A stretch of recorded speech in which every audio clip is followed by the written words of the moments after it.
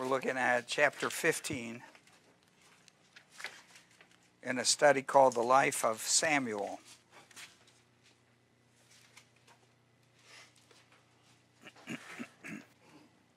this chapter deals with one of those hard days in the life of a, a teaching pastor. What he has to do today is going to be tough. Uh, Saul has come home full of victory and disappointment to the Lord. And Samuel has a responsibility to go and speak to the king on behalf of the Lord. uh, but Saul is not wacko yet, as he is the rest of the time in the Bible, but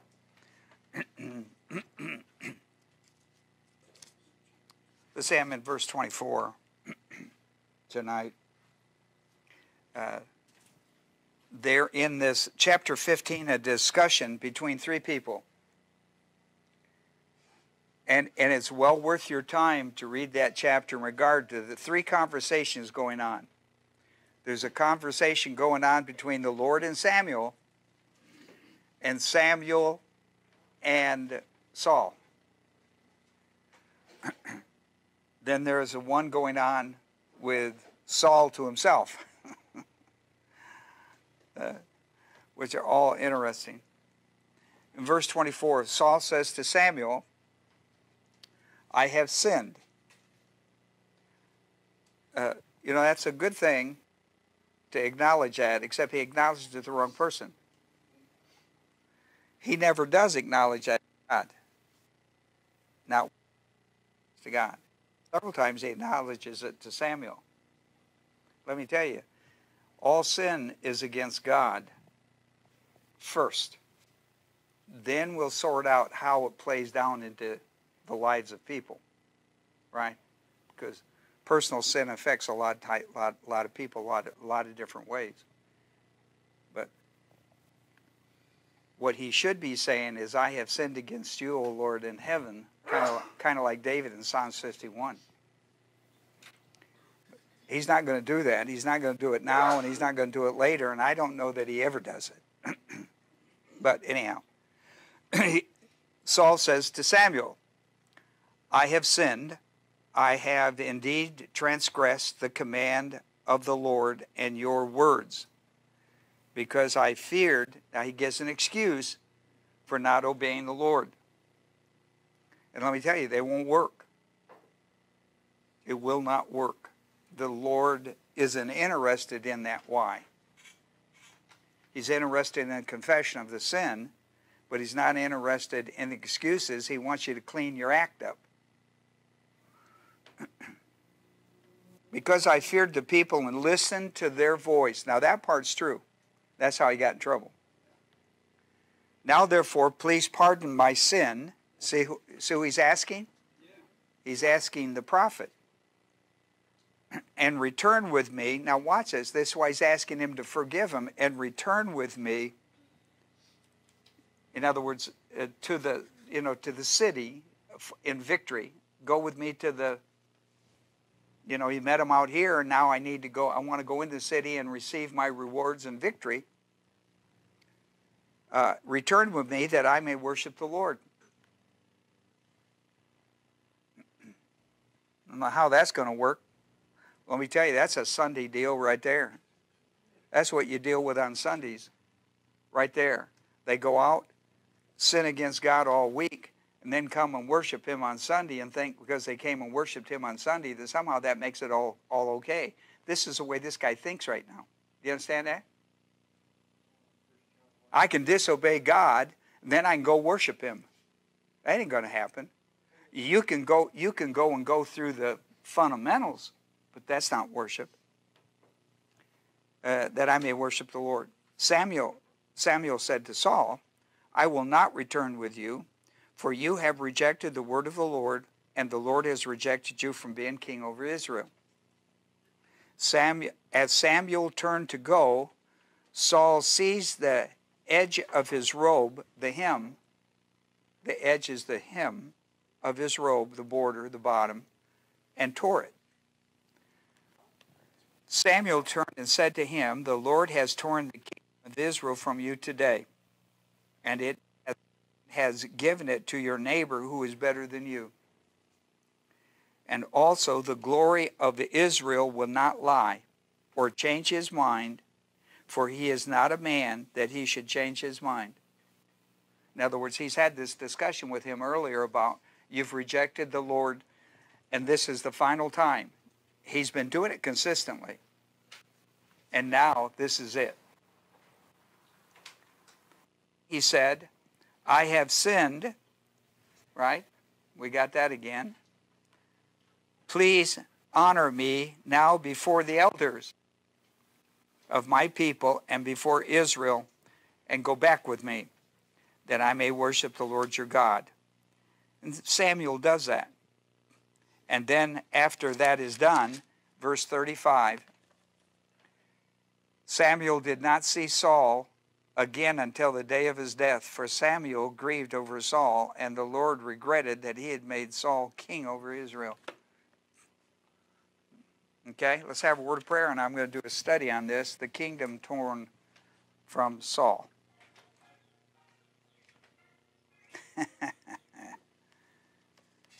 well, I would say that you would have to sing a song, but I'm going to skip that since that's Al. That's, I, don't, I think I'll take a song from Al.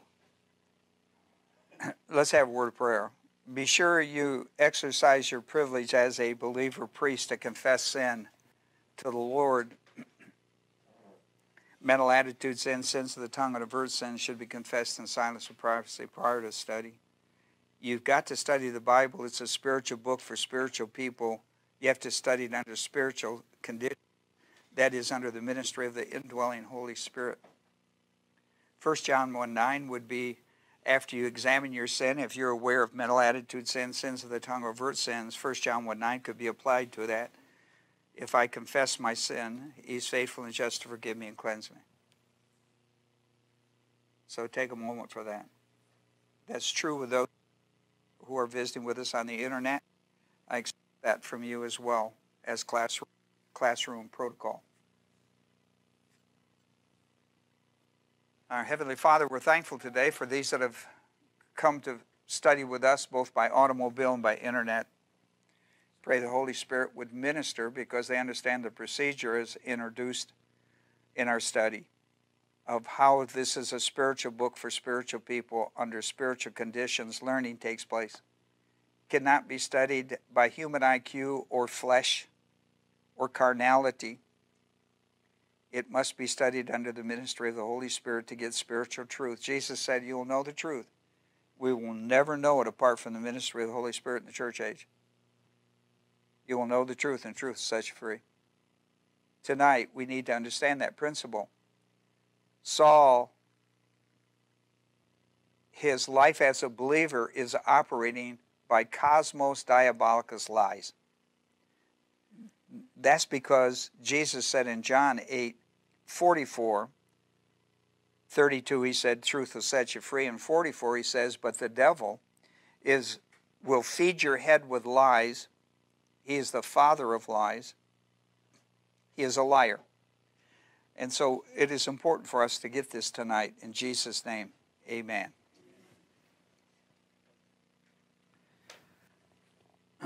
Uh, to go back to our, our lesson text, which is uh, chapter 15, 24 through 30, I broke it down for you to take a look at the way I look at it. Uh, in verses 24 through 26, I saw the sin of Saul. It was called the transgressions in that, that those verses, the transgressions of God's commands. He has previously said that to him in verse 11.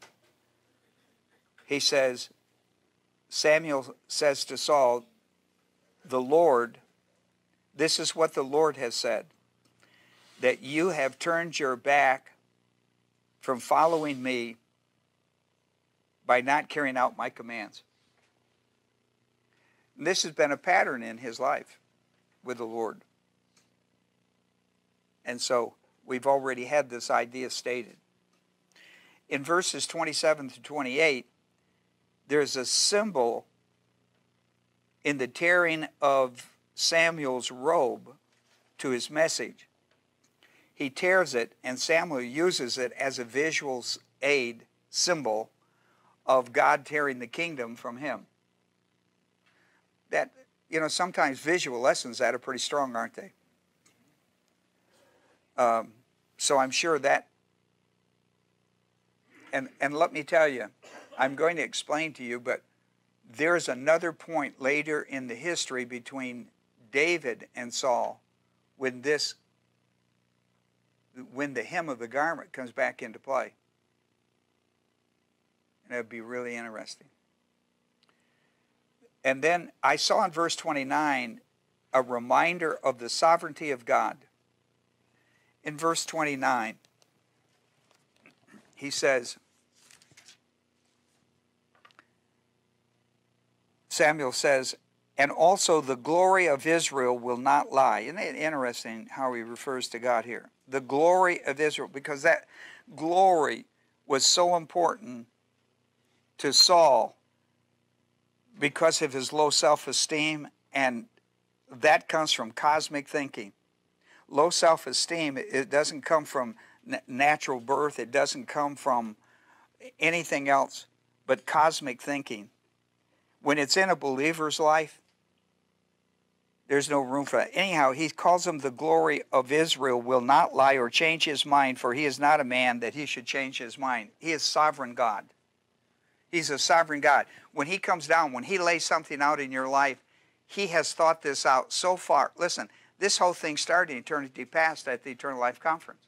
Before the foundation of the earth, Ephesians 1 before the foundation of the world that he laid this whole thing out. So when it comes listen when it comes time to your life and this episode comes down on a certain day a certain hour a certain place certain yada yada this thing has been well thought out by god. I mean you should honor the sovereignty of god by being obedient to the word of god. Saul hasn't been doing that. And, and listen the sovereignty of god when it's working out in our life is based on the truthfulness of God. And the truthfulness of God in regard to his sovereignty will over your life is based on his veracity and his immutability. And we see that in this thing. I mean, his mind works by truthfulness and and he's immutable. He's going to change his mind on it. And we've discussed this. Sacrilege mind of Saul is important. It's important to the Lord. Me, he has a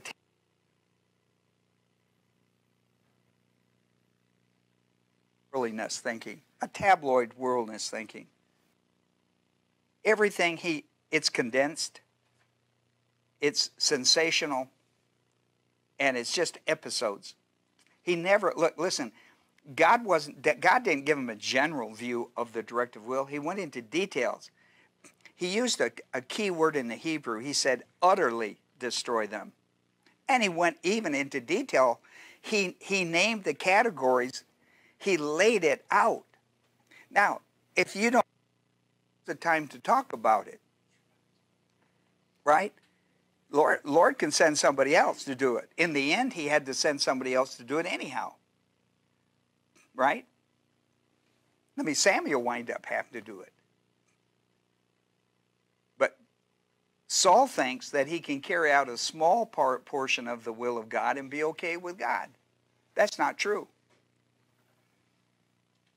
Not when he lays out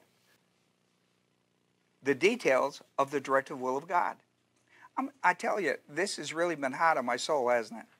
I've been, I've been really onto this subject. The Lord has been pounding this into my soul. And I just can't get away from it. Now, that tells me that probably 90% of this is for me and 10 of 10% of it is for you when he starts pounding that stuff. But I'm telling you, I can't begin because listen, most of you in here have been with me more than a year. Some of with, with you my life we are way beyond the, the general view of the directive will of God. We're into detailed studies. And that level is required for you.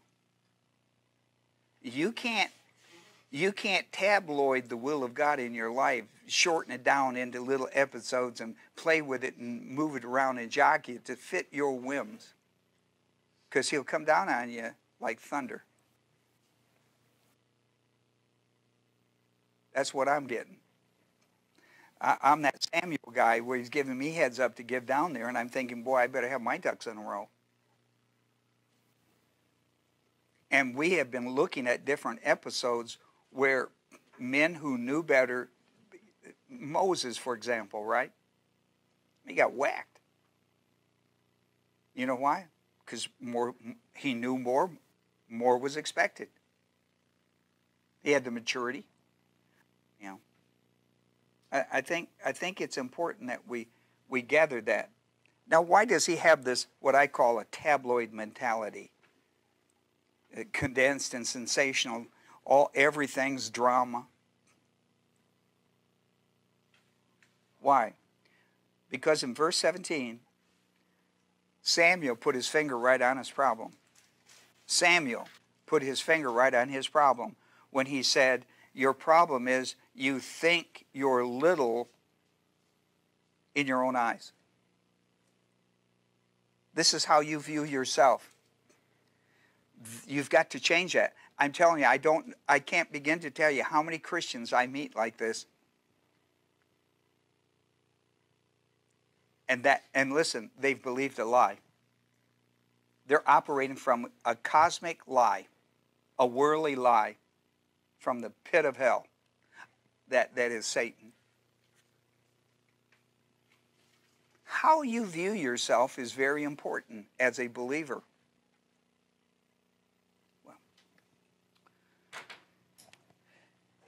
my lesson comes down to five points over this statement made in the 15th chapter, verse 27 28. As Samuel turned to leave, Saul seized the edge of his robe, the hem of his garment, and he tore it. That's a niphal imperfect. The niphal is intense passive. Now let's see. Niphal, it's a simple passive. Niphal is a simple passive. The passive shows intent.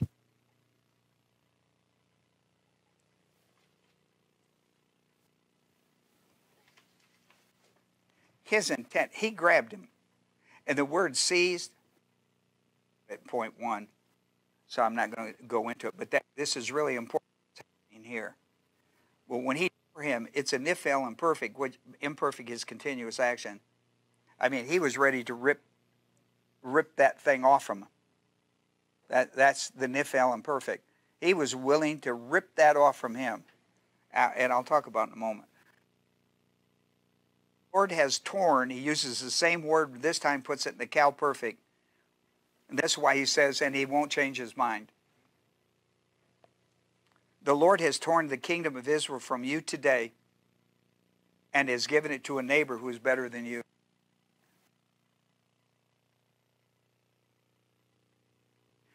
Let's talk about this Saul seizing the robe.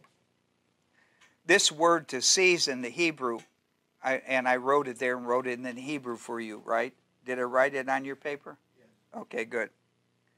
Um, Kazakh it's as I and and the word seized is a hiphil imperfect. In other words, the hiphil here is going to show that he is emotionally charged. He's all revved up. And forceful seizing of his robe. And he tore the edge, which is the extremity of the robe or the hem. Word wing because sometimes this used as an extremity, like a, a wing or, or, or, a limb, you know, like speaking of the body. This is a garment of Saul's robe. So, in the Niphal, it shows intent when he says, and he tore. Saul seized the robe and tore it. You put the word seized in the, in the in uh, the Hiphil, and you put the charged guy here. I mean, he's revved up. I mean, he's ready to pull that. He's ready to pull that garment right off him. Where? This, and it gives you a peek into Saul. Saul's forceful seizing of Samuel leaving was a hand warning message. People use it all the time. People use it all the time. Saul, where do you think you're going? Get back here right now or else. This is the mentality. If this is in your life, you need to do some radical changing. Because this is old man flesh carnality operation. This is not spiritual. This is not godly. This is not right. This is operation flesh of the sin nature and carnality. This is the opposite in Galatians 5 16, 17, walk in the Spirit, you will not fulfill the desires of the flesh. Verse 17, the desires of the flesh are in opposition to the Spirit. When this kind of behavior goes on in a relationship between Saul and Samuel, or between you and someone else, you are out of line. This is flesh, this is Operation Old Sin Nature, and this is a way to try to control. It's a control method. And it doesn't work. It causes more damage than it does anything else. It's, it's to promote a fear tactic. This is unacceptable behavior in a believer's life. Unacceptable. And listen, how do I know he was revved up? He grabbed Samuel's robe. That's the that is God's mouthpiece and he knows it. And he's a guy that can whip up in you one moment and want to make love to you the next. He does this and turns around and says, Now you'll go with me, won't you? Let me tell you, people, this is unacceptable behavior in a believer's life. And listen, you're not going to change by studying the Bible. You're going to change when you let the Bible study you and you make the changes. This is unacceptable. This is cosmos diabolicus thinking in the life of believer. And I can tell you from my story today of Samuel and Saul, this is unacceptable. in 1 Corinthians, the third chapter and 3, they tell you that when you're in this fleshly state, you're carnal. This is carnality working, and nothing good comes from carnality. This is operation carnality. And you say, well, it doesn't happen very often. It shouldn't happen at all. Well, I, I, I only have these every once in a while when they really don't when they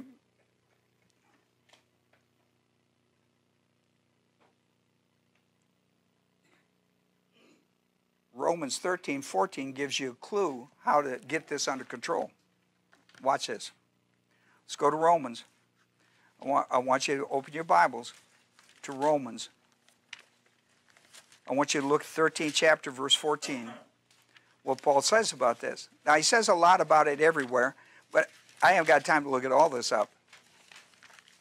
But 13, 14 is important.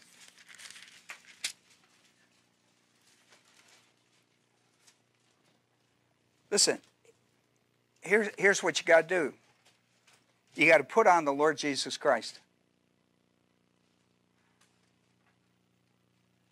Your life as a believer in Christ, as a spiritual maturing believer, and quote, a spiritual mature believer, Your responsibility is to reflect the life of Christ from within inside you. People, when they contact you, they should contact Christ in you. Even when they're disgusted and angry and mad, they need to meet Christ. Saul is upset. Saul is angry. Saul is emotional. He's laying it all out there. And it's all wrong. So he says, put on the Lord Jesus Christ first. Secondly, how do I do it? Holy Spirit first. How do I put on Lord Jesus Christ? You got to get your flesh under control so you walk in the Spirit. Number two, number two, you've got to make changes. You've got to make changes. You've got to put on the Lord Jesus Christ. You've got, listen, that's Romans 12 too. That's Ephesians 4, 22 through 24. You've got to put him on. You got to put him on when the flesh is romping and roaring. It's easy to put him on when everything's going good, when everything's hunky dory and, and, and everything's going my way. When everything's going my way, not the highway, then I can be good. Let me tell you, you should be able to operate under this under any extreme because of the indwelling grace ministry of the Holy Spirit and the Word of God. Now you've got to get, get a hold of this stuff in your life. To put on the Lord Jesus Christ and make for the flesh.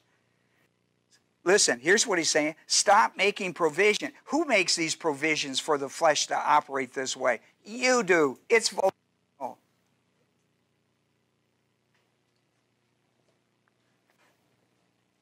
I'm going to show you another one because we like to quote 1 John 1 9 around here, and sometimes we miss 1 John 1 8, which is a big verse compared to confession. In the Greek language, this is an a priori argument, and verse 8 and 9 go together. In verse 8, if we say that we have no sin, that sin nature flesh, we deceive ourselves and the truth is not in us. If we confess our sins, where'd that come from? Come from verse 8. We have a sin nature and we sin. So stop deceiving yourself about sinning. Well, you know, it's part of life. Everybody does it. Come on now. Yeah, except you pick and choose. You pick and choose. You're like going through, through the market. You pick and choose. That pick and choose is where your problem is. Why don't you pick and choose to be spiritual? When you pick and choose your sins, you're in the flesh when you ought to be in the spirit. And listen, you've been in the flesh a while, and you shouldn't be making provisions for it. You're making provisions for it. And you're in this inner dialogue with yourself should tell you who, what you're talking. What are you telling yourself should be the big clue. Well, I'll tell you, I'll, I'll just, I'll just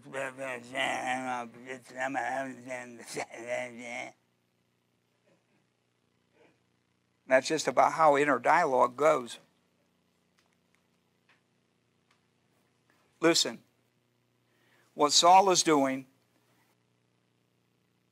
diabolicus, listen to me, conformity to worldly insecurity, flesh. There's no such thing as insecurity in the ministry of the Holy Spirit. There's no thing. Listen, His is secure, His is seal. No insecurities in the Holy Spirit. When you're, in, when you're into your insecurities uh, and have to prove your whatever by bouncing all over people, your insecurities because you're in your flesh. So, here we are in Romans 12 2.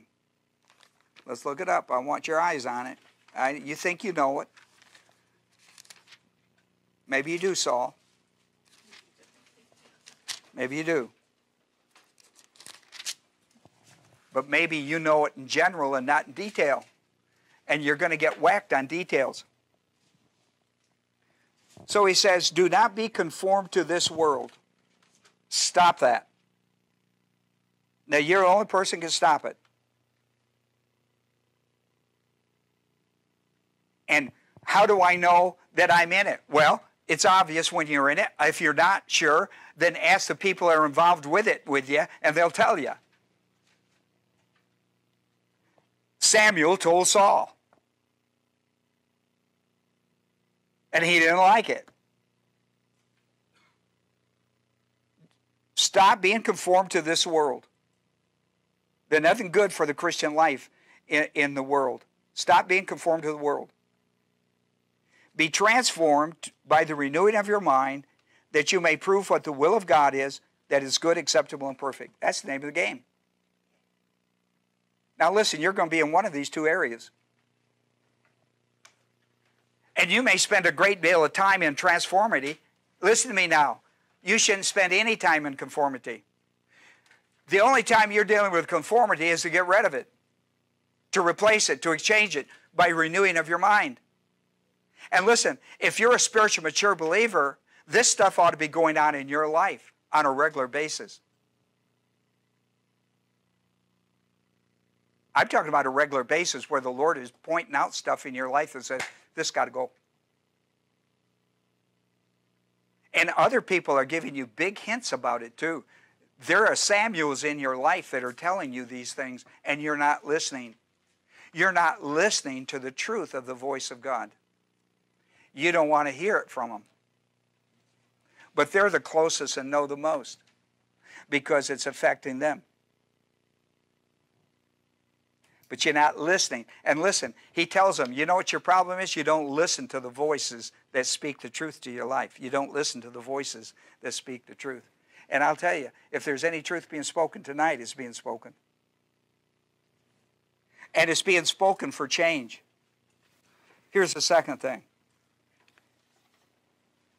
David. Now, I want to show you the difference between old man thinking and new man thinking. I'm going to show you the difference. David will cut off the edge of Saul's royal robe in a cave among the rocks of the wild goats.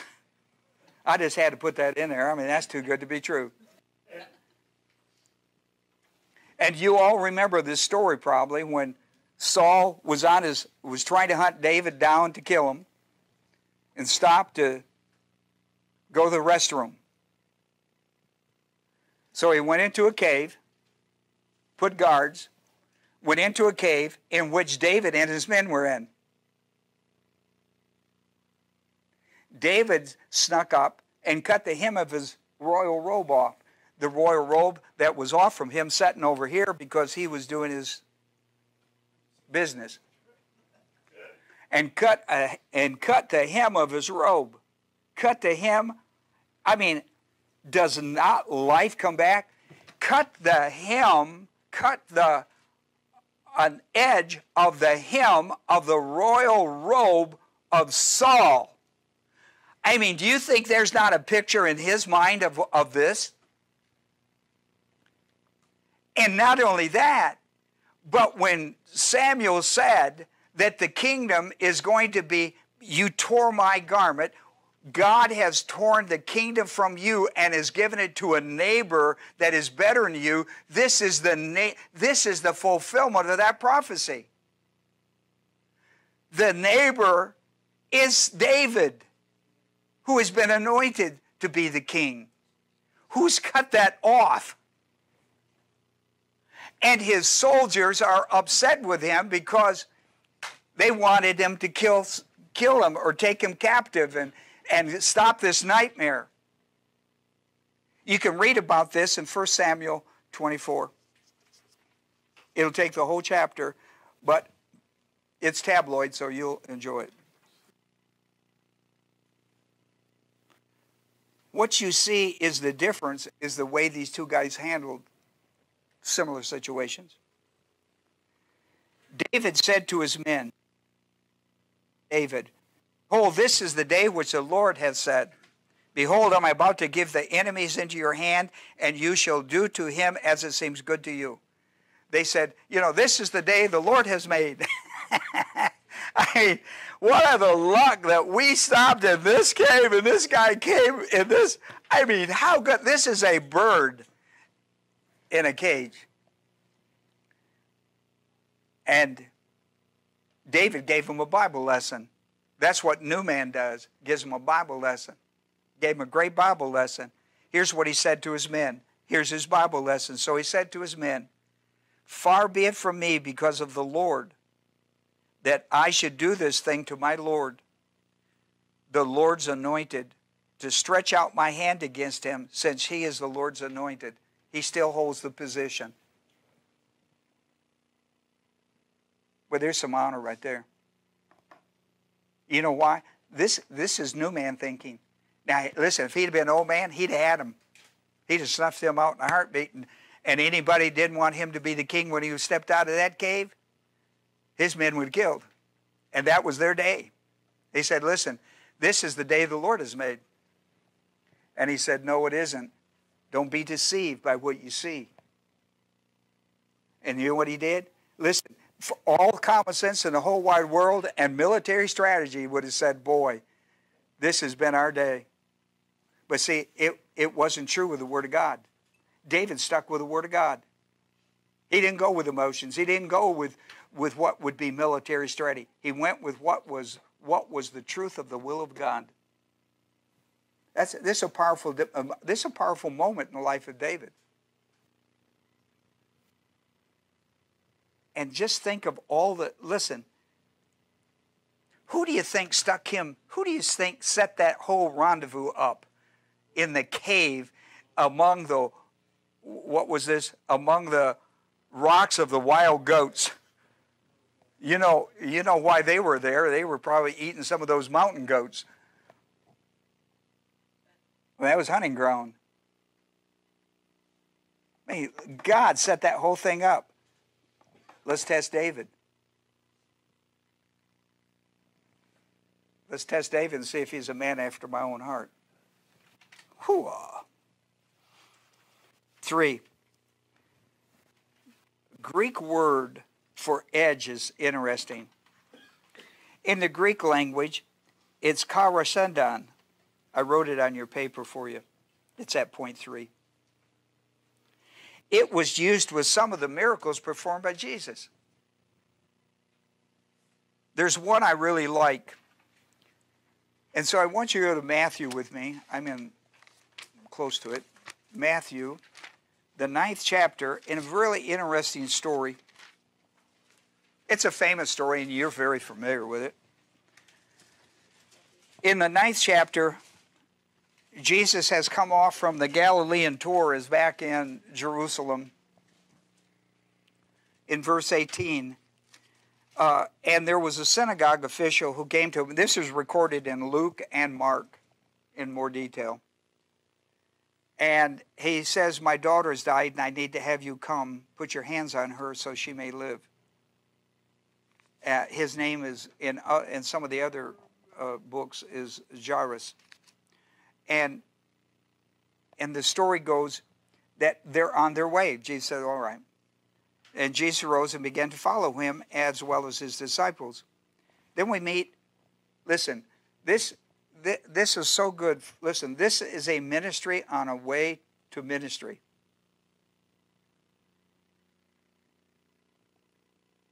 Listen,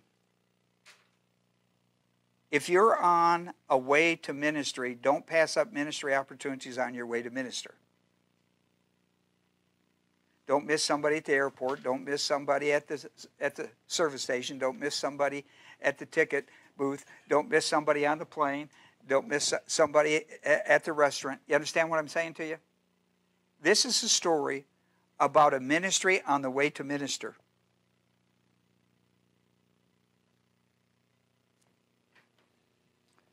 Verse 20 There was a woman who had been suffering with a hemorrhage disease for 12 years. She came up behind him, there's a large crowd, and touched the, the hem or the fringe of his garment, of his cloak. That's the hem of the garment. she was saying to herself, that's in her dialogue. She was saying to herself, and listen, this, this inner dialogue was so important to her healing.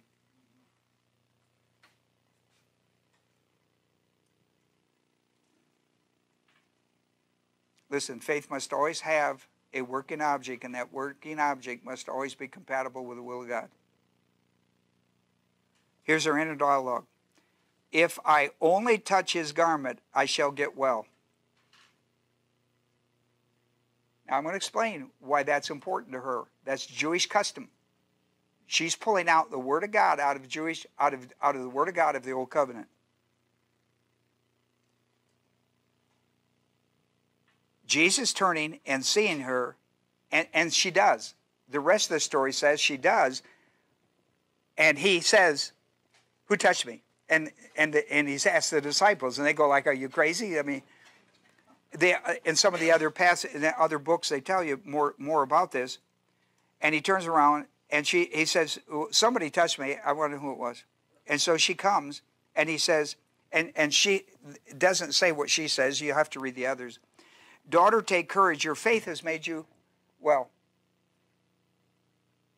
And at once the woman was made well. And Jesus went on his way.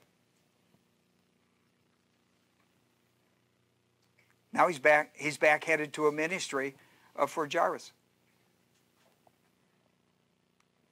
Look, I want you to write this down. I want you to write down. I, I lift you a little space there at the bottom.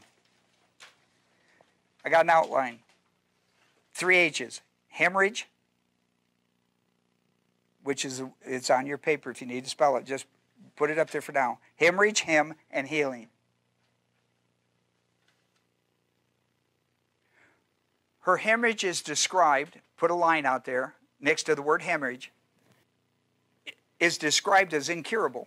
She has an incurable disease. She's had it for 12 years. She spent a fortune on medical expenses. Everybody says, we can't help you. This is a incurable disease that she has.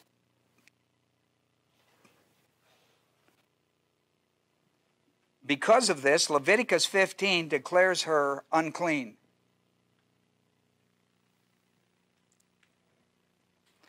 Which has, has taken her out of a whole social, religious, whole deal, hasn't it?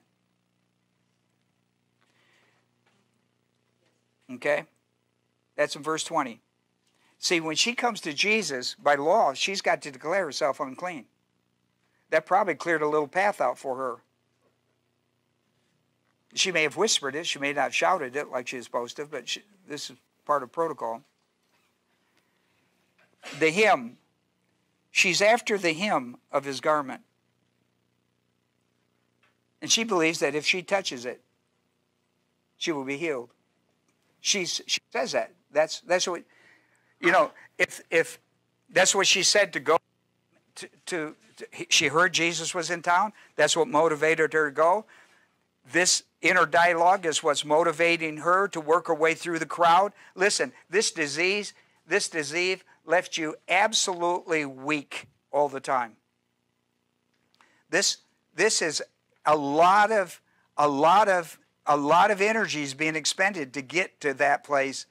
Uh, she came to that week, and more she goes, the weaker she gets on this deal. To touch the hem of the garment um, is quite a task. But listen to her for what her faith said. Listen to what she believed. She believes that if I touch the hem of her garment, what, what did she believe? I will be well. I will get well. I will be well. Okay? Her inner dialogue, her inner dialogue about this whole thing, I, I don't know if I went into any more discussion on this. Her inner dialogue, this comes out of out of places um, in the Old Testament. Um, I didn't write those down, I don't think. Oh, numbers. Yeah, numbers. Uh, listen, go, I, I, I, well, later you do it. I haven't got enough time. To, but later, I'm going to tell you what to put down. Later, go back and look at this. I can tell you, it's going to tell you all about the tassels. Okay? This is what she's after. Uh, she's after grabbing any one of the blue, blue tassels on each corner of the garment. That's what she's after. Write this down Numbers 15, 37 through 40. And it tells you why that's important, why they wore it based on the Word of God. The, these were symbols. People believe certain things about God. Thing is but these tassels represented um, the importance of categorical Bible doctrine being inhaled and exhaled every day of your life. This these tassels represented, they were of your faith in 2 Timothy 3 16, 17. That's what she's after. This is what she's after. And she believes that, and she believes it because this was Bible doctrine. Was the directive will of God. If she could get there and and and touch the hem of his garment, if he eh, if she was aware that he's a man of God, he's going to have these. I mean, he's going to have these blue tassels. It's, it's, so sometimes we lose some of that stuff, but this verse 20 and 21. She was absolutely convinced in her, in her dialogue. And then the healing. Incompre- this is incomprehensible trust.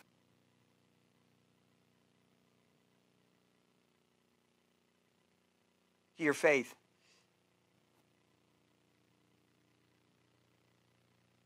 James 2 18.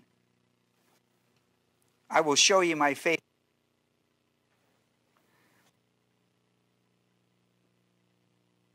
what she teaches us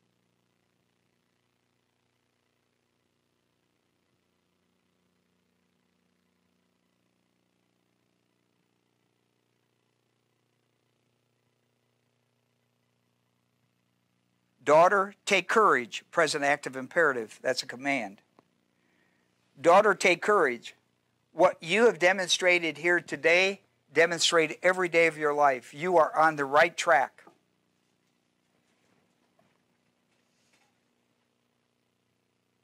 You know what he's saying when he says to take courage? He's saying, You have made my day. Not that I healed you, but that I saw your faith heal you. Your faith healed you today. And when he says take courage, he says what you have discovered today is the secret for your life every day. You walk by faith and not by sight. Daughter, daughter of Israel, take courage. Your faith has made you well. And at once, immediately, the woman was made well. what is interesting is the word made well. It's sozo. It's S O Z O. It is a word for salvation or deliverance. So we use the word so much for salvation, we don't realize it has other meanings like deliverance. Your faith, daughter, your faith, daughter of Israel, your faith has delivered you this day. This is a great day for you. Every day should be this way. Take courage, he puts it in the imperative. That's a great, that's a great that's a great lesson on the hem of the garment. Four, back to Saul. The sin that resulted, that was a little mini sermon for me. The sin that resulted in the kingdom being torn from Saul, listen to me now, was a repetitive sin. Be aware of repetitive sins. Because 1 John 1 9 will, will re restore you from the sin, but will not remove the repetitiveness of it.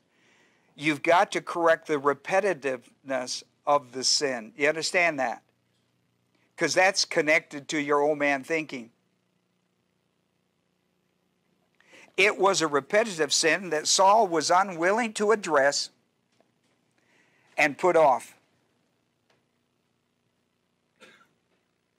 He didn't even go to 1 John 1 9. He didn't even go there. He didn't even go there. That's not an issue in his life. Because he he's not, un, he, listen, he's unwilling to deal with it.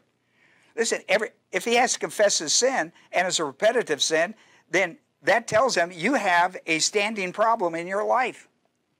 And you can't blame it that I have a sin nature because, listen, yes, you have a sin nature. Yes, you are flesh, but you have the third member of the Godhead who lives in your life to control it. Agreed? Ah. This is a repetitive problem, and the Lord, through Samuel, has been telling him repetitively, repeatedly, that this is a problem.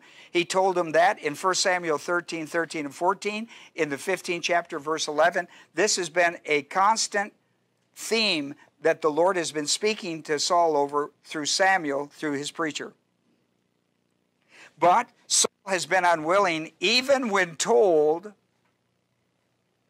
even when told repetitively, and even unwilling when he was told in the final encounter with Saul with Samuel. He still didn't do it. Sa- Samuel lays it right out for him. Samuel says, "Let me tell you where your problem is." And he wasn't willing to make any changes. You ask, how is this possible? He's a, he's a spiritual mature believer. How is this possible? And the answer seems too simple. Saul just needs to do everything the Lord tells him to do without question. You understand that? Just do. Do the do. Right? Do the do. Sure. Well, he does we're all guilty of this. It's how long are you going to stay guilty of it? Why don't you change it? Is it possible? Absolutely. Put off the old man and put on the new man. Ephesians 4. How? How do I do that? New of. How was that? Just more study? No. It's putting on, taking off. That's the renewal. You, you got to take it off and put on the. Take this false belief off and put the truth of the Word of God on and start letting it be an exercise. It's not done by the power of the flesh, it's done by the power of the Holy Spirit. Listen, the answer that, to solve this problem in this man's life is simple. He doesn't have to go to 13 psychologists for uh, 13 years to get this solved. This is a simple solution. Do the will of God. Do it to the letter. When he tells you this is wrong, change it. Make changes in your life. You'll be amazed how God will work with you and how he won't work with you until you do that. You wonder, well, I wonder why my life is not going this way. Why isn't why don't I do that? How come I don't have this and how come I don't have it? I tell you, clean your listen, clean your closets. Your house looks okay, but your closets are terrible. How about cleaning some closets?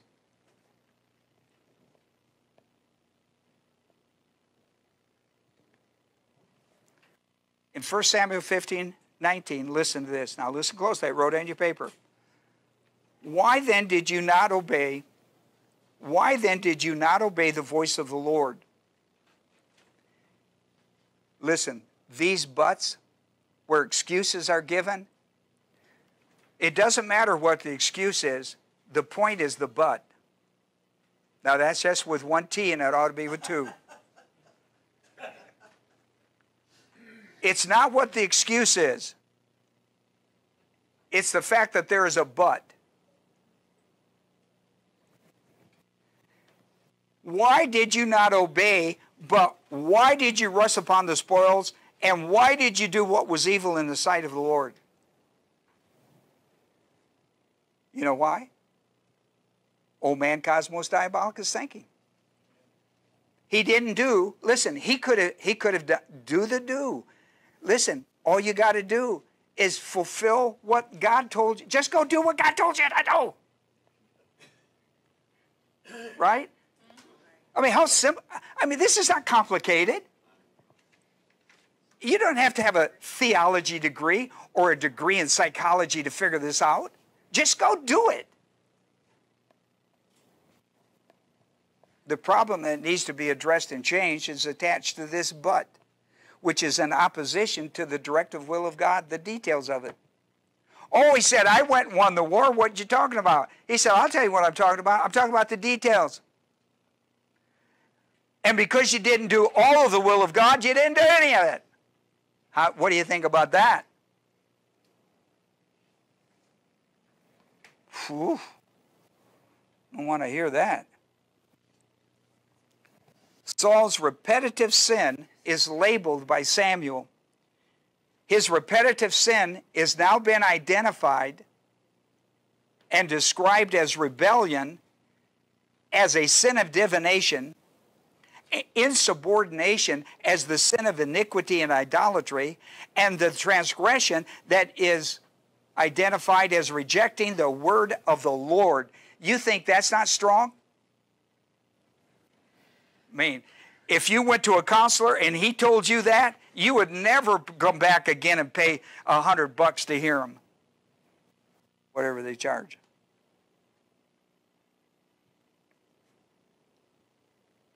The whole thing is really simple. This is not complicated. Do the do.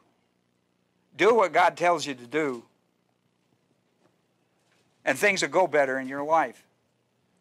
Do what God tells you to do do all the details. Don't, don't, don't take the general and then say, well, I'll do this and I'll do that and it'll be okay. Wasn't okay with Saul. Listen, Samuel said, listen, this is really strong. Sacrifice. He said, you know what your problem is? You don't listen to obey the voice of the Lord. You hear it and then decide how you're going to change it. How you're going to be able to work His will into your life and still do what you want to do. That ain't going to, He's not going to accept that. He throws the whole thing out. You need to listen to this when he talks to Saul. He threw the whole thing out. Listen to me. Saul is battling his core of old man, cosmos diabolicus formative of the world thinking. Saul is battling. Right here, there's a, listen, Saul has a chance to clean this whole deal up. The battle has gone from outside to inside. And every bit of it is being exposed. Every bit of it. The war has gone from out here with the Abimelechs to the inside between Saul and God. Samuel has brought the fight out in. Samuel has brought it out and in. And Saul is battling his core of lies that he tells himself and justifies them and defends them. It's called conformity of worldly thinking. You got to get rid of it. Just like Paul says in Romans 12, 2, do not be conformed. Stop doing this. Stop being conformed to the world and start being transformed by the renewing of your mind so that you may prove what the will of God is that is good, acceptable, and perfect.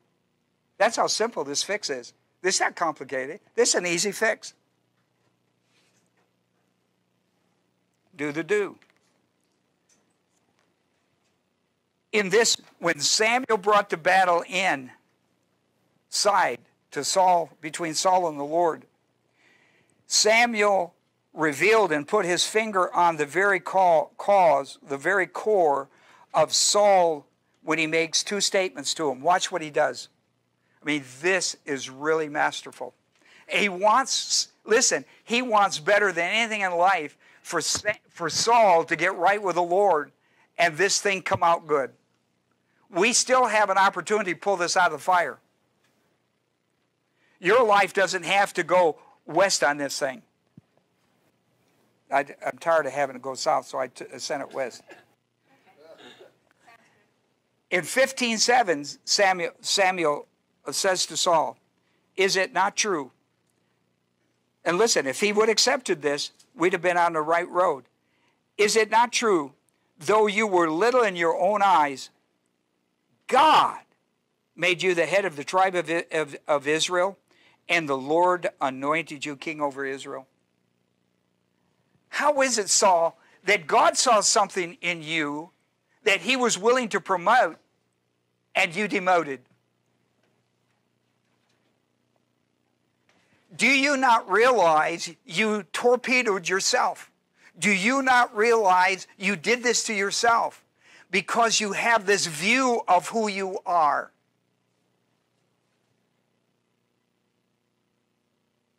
A view that God doesn't hold to. Now, listen to me.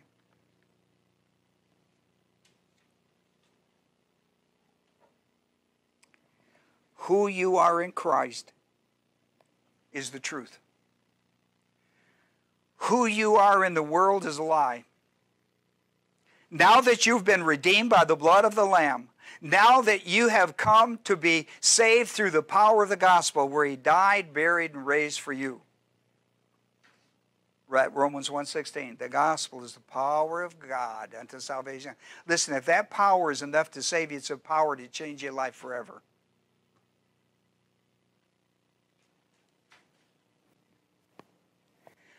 Listen, who you are in Christ is everything. And if you don't know those 20 status privileges, you're missing a privilege for your life.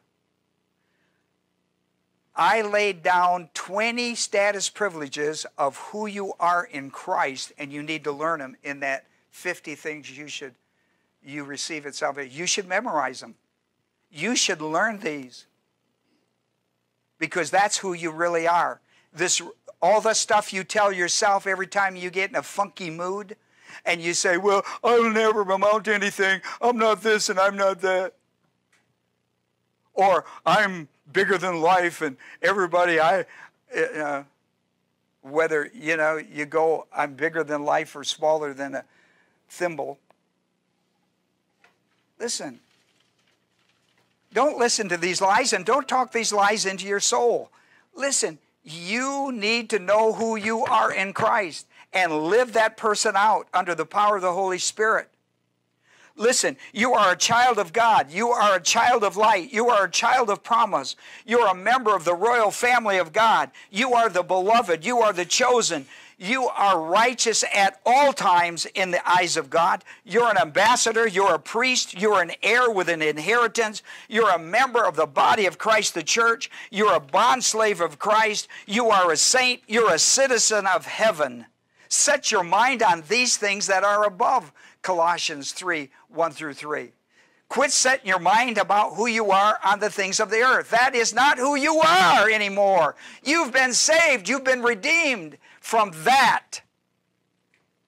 Enough's enough, isn't it? How long are you going to carry this dead man around making decisions for you?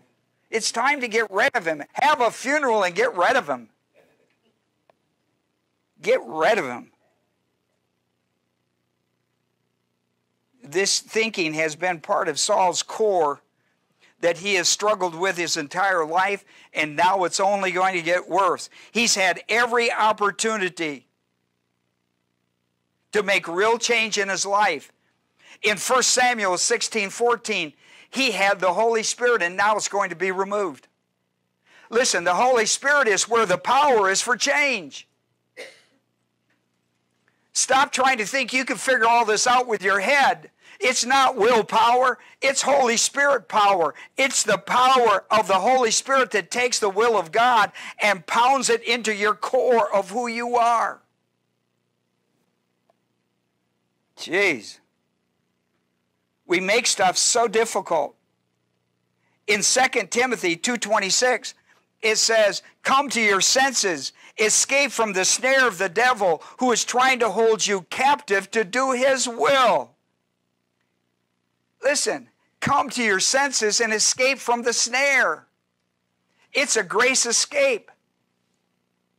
But no, we stay in there. That's our comfort place. And it is a trap of doom. Who you are in Christ is not a work project of reform from conformity. I'm so tired of reform your life. Well, you Christians, you just need to reform your life. I'm not talking about trans, I'm talking about transformation. I'm not talking about reformation. You can't reform out of conformity. Reformation is part of conformity. It's the world system. You got to get in transformation by the renewing of your mind. You've got to learn it and then you've got to exercise it. You've got to make changes in your life by the power of the Word of God. Jeez. Listen, you need to be a product of God's grace, transforming you into the new man of Christ.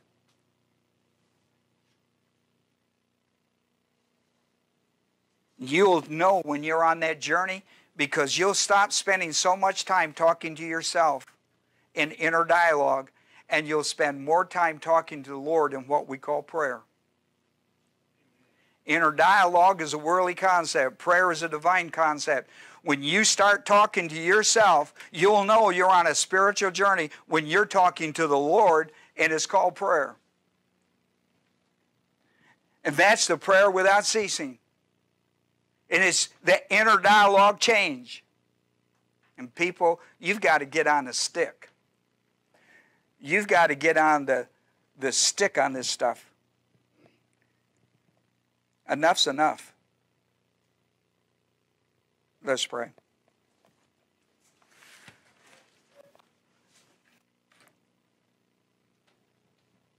I'm going to ask everybody, just in silence of your own life, to make a little prayer this message has touched your life in some way, I want you to have a prayer, just a moment of personal time with the Lord about some things. And I want you to pray for somebody else that you know life needs to be changed. I want you to pray for yourself and the changes that need to be made in your life. Some of the things have been exposed during this time. So, Father, we're thankful for tonight. Pray the Holy Spirit would minister the truth to our life and convict us where convictions need to be done. And may we have the good sense that it's a simple process of recovery, but it's a steady it's putting off, putting on, and keeping the on on.